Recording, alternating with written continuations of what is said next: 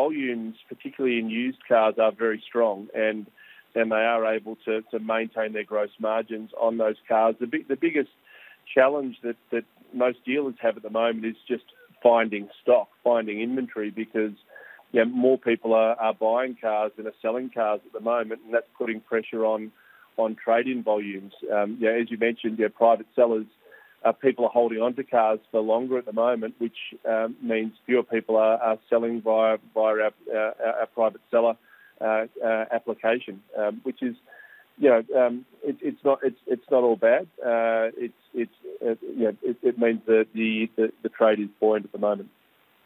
Cameron, I understand you're making the case for resilient volumes here, but what's happening when it comes to pricing? I mean, are you seeing any recessionary type behavior among consumers who are perhaps going for a model that would cost less than they would have before this crisis, or perhaps opting for a used car rather than someone who previously purchased a new car?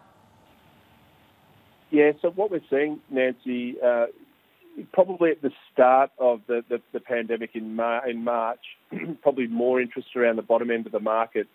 But uh, but today, as I stand here, there's there's I would say the interest is across the market, so it's in all price brackets at, at the moment, uh, not just not just the bottom end. So it's actually also in the in the top end of the market.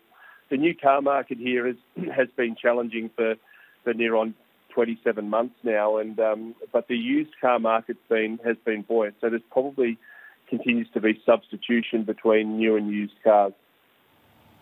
Okay, and looking at your business in Latin America, I know you have a big operation in Brazil as well. What's happening there? Because the economic toll from COVID just seems to be so harsh there at the moment.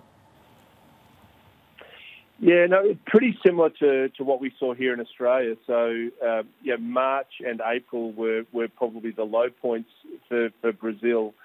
Um, and since then, we, we actually have seen a, a gradual recovery in in uh, in performance there as dealerships have, have reopened along the way.